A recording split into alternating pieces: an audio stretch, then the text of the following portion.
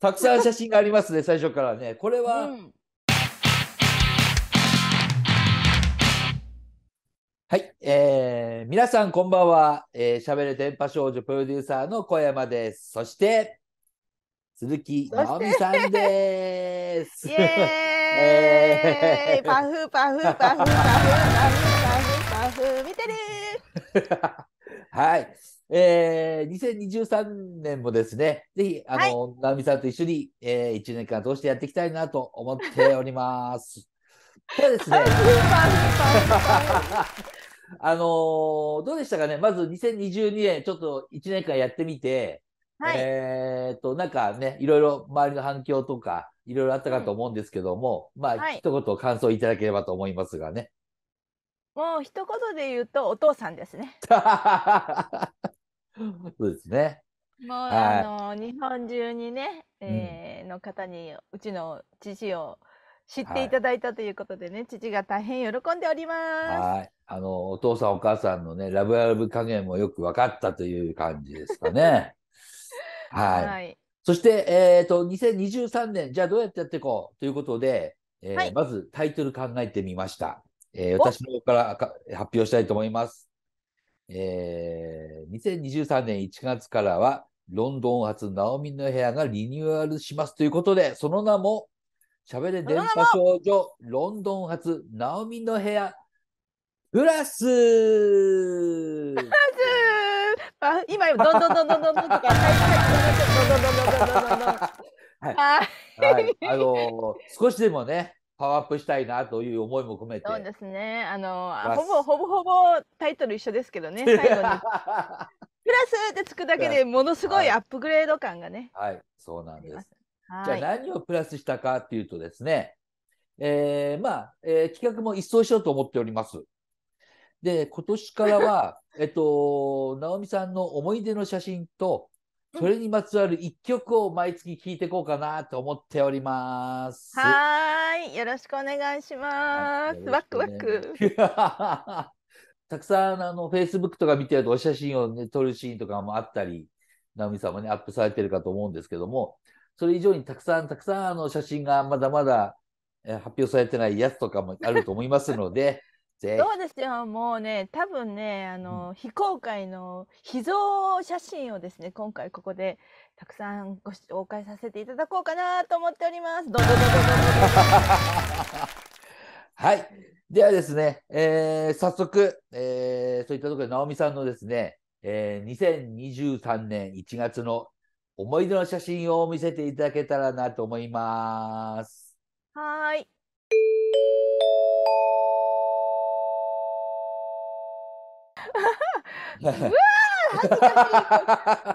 たくさん写真がありますね、最初からね。これは、うん。あの、僕が、まあ、見た感じだと、花魁とお相撲さんがいますけど、おいらん。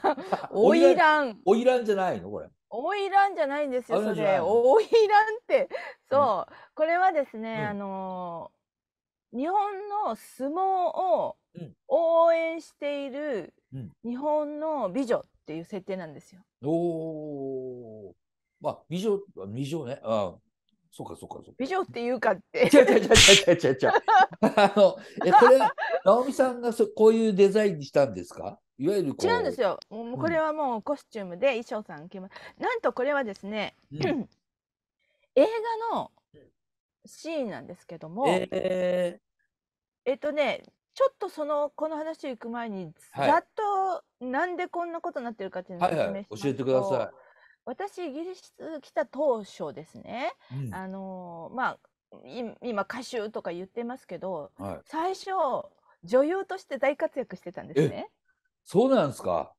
うん、うんまあそのイギリスに住んでるずっと住んでる、まあ、日本人の役者さんってそんなにいないんですよね。ああ、なるほど。それでまあもちろん、あのーほぼほぼ脇役なんですけどいやいやいほぼほぼやいやいや。脇役なんですけど例えば日本で言うと、うんあの朝ドラみたいなやつとかはあもっと言ったら大河みたいなやつとい。か、えー、国民的ドラマじゃないそうですか。そうそうそうちょい役にちょいちょい出てた。えでまあこれからね、あの今後またあの自慢したいと思いますけれども ヒュー・グラントヒュー・グラントさんのうん。イギリスで一番ヒットしたという「ブリジット・ジョーンズ・ダイアリー」「ブリジット・ジョーンズの日記」といううん映画にも,、もうヒュー・グラントの恋人役でラブシーンをしてたりとかね、あなんか前聞きましたよ。なんかベッドシーンがあったとかなかったとかってやつですか？うん。うん。でまあそんな感じであの映画とかドラマとかの,、うん。あの役者をやってたんですよね。でそうん。これはえっとですね、えー撮影が2000年の初めぐらい2002年か3年ぐらいだったと思うんですけれども、あの2007年に公開になりましたうん。シェイクスピアのあのシェイクスピアが、えー、と1599年に書いた喜劇なんですけれども、これの,、あのリメイクということで「As うん。You Like It」っていうね、のいうという映画のリメイクということで、えー撮え影に臨んだんですよねこれ。ー。はいはい。であはい。の、まあ、な何人かこう日本人のこうねあのわーってこうお相撲さんを取り込うん。込んでる女性がこういるっていう設定でワーキャーワーキャー言ってんですけどはい。あのちょっとまず見てくださいよこの割り箸頭に刺さった割りあ、箸これ割り箸なんですか？これ割り箸？ありえないじゃないですかこの これはねかんざしのつもりなんですよね。はでね当時はねまだね1990年の終わり頃とか2000年の最初ぐらいってい。うんそのこちらの人たちが描くこう日本人っていうのはなんかちょっとこう奇妙で、うんさお侍さんが革靴を履いてたりとか、はいはいはい。平気でそういう感じだったんですよね。うんうんだからなんかあのそれっぽかったら何でもいいやみたいなフュージョン系のフはいはいはいはい。ュージョン系の日本の美女みたいな、昔はいの美女みたいな感じで、まあ美女でも何でもないんでいや、すけど美女ですよ。ごめんなさいね。さっきは美女ですからね。前提は。前提は前提は笑うとこじゃないからでものはなんかかあのわすんごい割り箸みたいなの持ってきてブス ブスブスブス刺してはいで。なんかもうあのヘアスタイリストさんに取り囲まれて「You are so beautiful!」とか言われてまあ、どもうなんですか、ねその時の直美さんの気分はどうなんですかいやいいめちゃめちゃいい気分です。でも、指してるものちょっと違う感じは、ここちょっと違うんだけどっていうのは言わなかったんですか？あ言ったんですよね、はいはいこれはちょっと通常ではないですけどって言ったら「That's fine!」みたいな感じで ざっこれくりしてますね。でも OK! みたいな感じ。じ。ええでも、であのゆゆ髪もねあのうんかつらっていうか、そのあのそういう感じでこう言ったんですけどまあ全てが雑なんで のこう接着剤みたいなのもなんか激しい激しいやつなんですよね。で日本人はやっぱ皮膚が弱いからうんもう撮影になったらお岩さんみたいになってもうここかぶれて大変ですね。でもこのお相撲さん自体は完成度高くないですか？ほこれ本物なんですよ。あ、そうなんですか。あ、うん本物のお相撲さんが行ったってことですか？そう本物のお相撲さんが来られてはい。あのー撮影本当にお相撲を撮るシーンだったんで、あうん、あ、なるほど。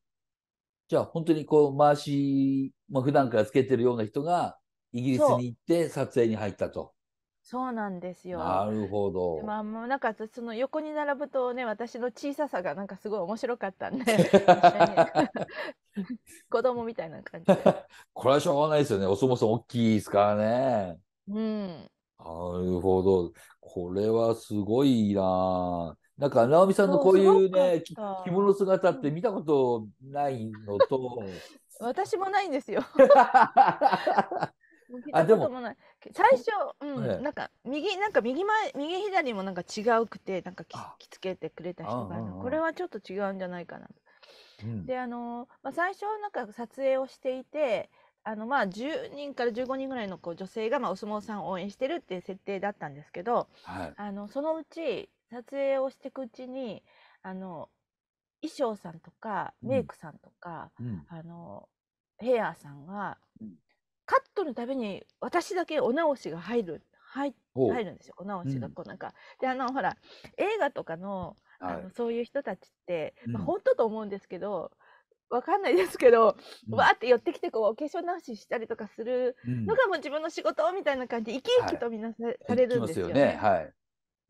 で、なんかもうヘアとかも、なんかここってやってくれるんですけど、はい何も変わらないんですけど。いやいや、そんなことない。ちゃんと変わるんですよ。変わるんですか？あの 髪る髪髪の毛一本とかを1ミリぐらいずらしてくれて、オッケーみたいな、なんかそんな感じで。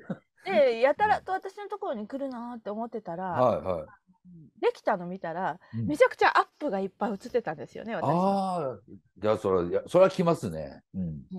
でも、その、うその顔が、うん。あの、なんていうんですか、まあ、ここで見せてる、こう、バカ笑いの顔みたいな、あーみたいな、そういう、なんかこう、あはははみたいなのばっかりが、めちゃくちゃアップに、アップになってて、はうん。だからあんまりこれがね、言えないまま、人に言えないまま、まあ、あの、すごく15年ぐらい過ぎてしまって、まあまあ、これはもう解禁かなというところでね、今日はね、皆さん。い。ありがとうございます。貴重な写真ですね。これはなかなか見れないですよ。なるほど。別に封印してたわけじゃないんでしょ？当時はこれが映画になったわけですもんね。うん、あの、映画になったけど、私自身は封印してましあ、た。封印して。なるほど、なるほど。わかりました。ありがとうございます。ちなみに、これは結果の、なんか映画の中ではど、こう、どんな人になっていくみたいな、ストーリーの中でどんな感じなんですか？ストーリーの中ではまあ本当に脇役なんで、ああ、なるほど。あんまり、あんまりまあ体制に支障はきたさないかなっていう。ど ああ、なるほど いや、でもね、すごいな。イギリスの映画に出ていくというのはね。うんなるほどね。これあ外のうん。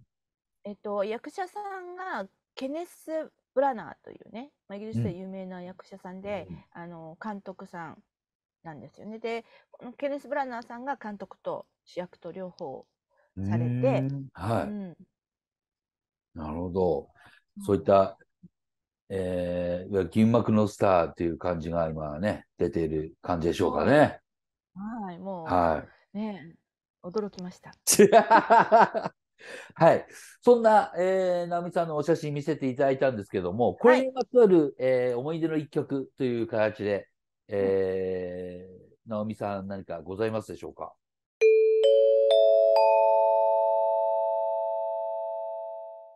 はい。あのー当時ですね、はい。私、まあまあ、まあ、ぼちぼちこう歌とか歌ってたんですけども、なんかね、あの、イギリスの、あの、ミュージシャンが、あるミュージシャンが、うん。えー、ナオミはね、聖子松田に似てるねって言われたんですよね、えーあの声が。えで、似てるな、似てるって言われたから、ーうん。あ、そうかなって思って、どこが？って言ったら、うんあーっていうところが似てるって。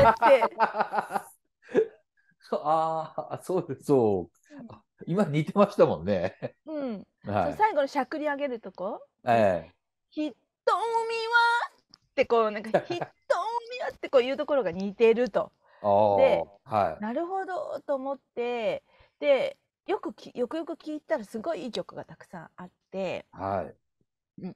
で、このね、撮影の時に、はい。あの、ちょっと私はね、あの、休憩時間に監督とかね、え 監督とかね、あの、照明さんとかカメラさんとか、こう、休憩してるところでえね、聖子ちゃんを一発披露したんですようん、ね。ええ やらかしますね。いいですね。うんいいでしょ評判良かったなんか、評判良さそうな感じじゃないですか？うん、うんそうんう。で、その披露した曲が、まあ、この曲だったんですよね。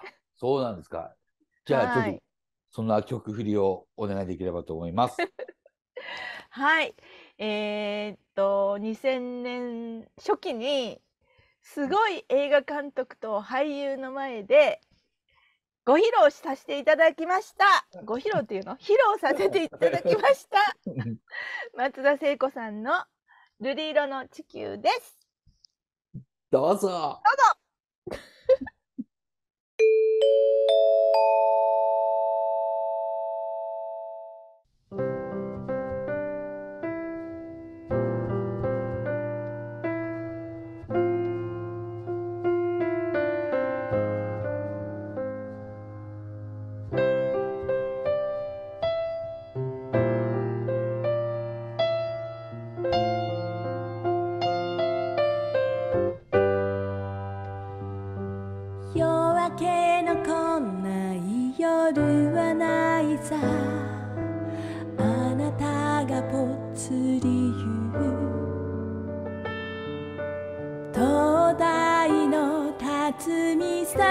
で暗い海を見ていた。悩んだ日もある悲しみに。くじけそうな時も。あなたがそこ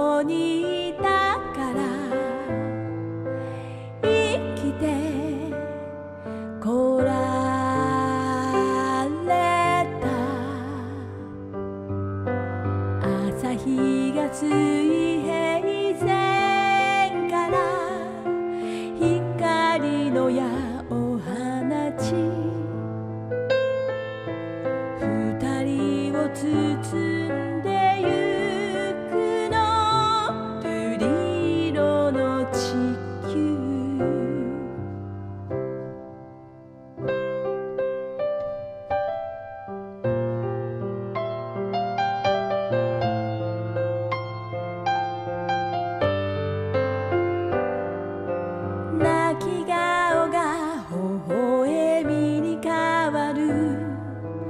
瞬間の涙を。世界中の人たちに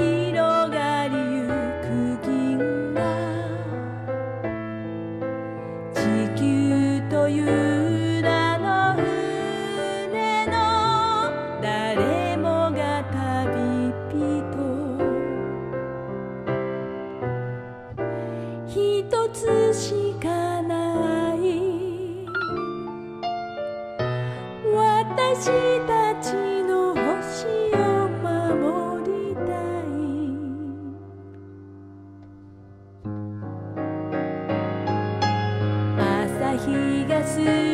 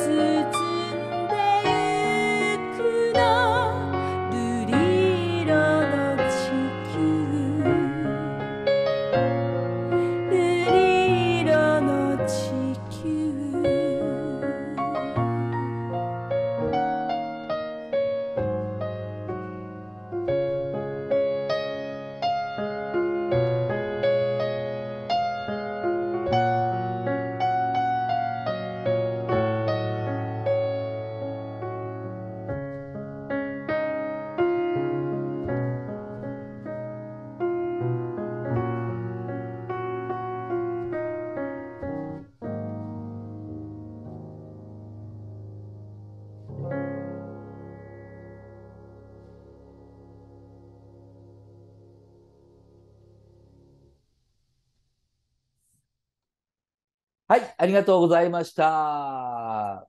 ね、素敵な曲でした。あ本当にあの声似てましたね。がねうん似てるかな、まあねなんか多分私聖子ちゃんのことが好きだから、うんあのいっぱい曲は聴いててで特にね「瑠璃色の地球」とかねあの「瞳はダイヤモンド」っていうのがねすごい好きであでも、ルリーの地球だったんですね、今回はね。そうそうこれ今回は「瑠璃色の地球」でしたけど、はい。まあ、今のは別料金となりますけれども。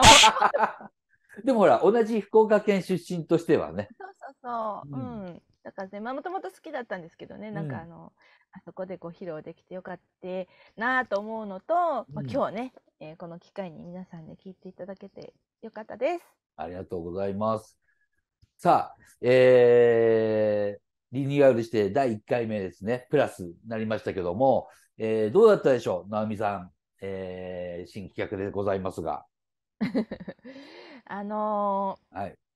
そうですね。まあなんか次のネタもすでにこう頭の中にね あっで、はいあの私は、まあ、基本的には、うんあの自慢話と思っていただければ 皆さん。いいかなと思うんですけども、はいまあ私はねあの歌手ですとはい。とりあえずあのね、えー肩書き上は、えーシンガーソングライター音楽プロデューサーということでね、肩書きはそうなんですけれども、はまあ、イギリスでねこう女優活動をしてるっていうことは、まああの一つ自慢したいことではあいや、りますいい、ので。すごいことだと思いますよ。うんえーこういうね、ネタ、あの、知られざるナオミ、ナオミネタっていうのをね、まあ、いいっすね。うん知られざる、知られざるナオミネタね。うん、いい、うん。ちょっと皆さんにね、うんえー自慢を聞いて、自慢話を聞いていただこうかなと思ってます。あいいと思います。いろいろ教えてくださいね。はーい。その、いろいろ教えていただくのもあるんですけども、えー2022年ではスタンダードナンバーになりました、ナオミのお父様のお話。これは、あのーね、多方面から、その後、あれやんないのみたく、ね、えー続くんだよねみたいな話もあったんで、ちょっと、毎回毎回じゃなくてもいいんですけど、なんかあったら教えてくださいね。はい。まあ、お父さんもね、今、恒例の番組、今、いつ自分の名前が出てくるか、いつ自分の名前が出てくるか、もうね、ワクワクして待って、お父さんお待たせしましたっていう感じなんですけどね。はい あの、まあ今ね、すごく元気にしてるので、うんまあ、ネタがないっちゃないんですけども、いいこと、いいことじゃない。元気なことはいいことですからうんね。うん、そうそうそう。まあね、あの何かあのちょいちょいやらかしてくれるので、お話しさせていただきたいと思います。離れてるからこそ起きることありますからね。うん、はい。わかりました。では、えー新しくなりました、えーロンドン発ナオミの部屋プラス、えー2023年1月ですね。1回目の放送。えーこれはですね、あの、最後にもう一度言っておきますが、えー毎月、えー最終の金曜もしくは土曜あたりに、え1 回だけ、えーはい放送してまいきますので、皆さはいん楽しみに、えーしてくださいね。よろしくお願いします。はいでは、えー今月はここまでとなります。直美さん、はいありがとうござありいました。がとうございました。See ま you た next month.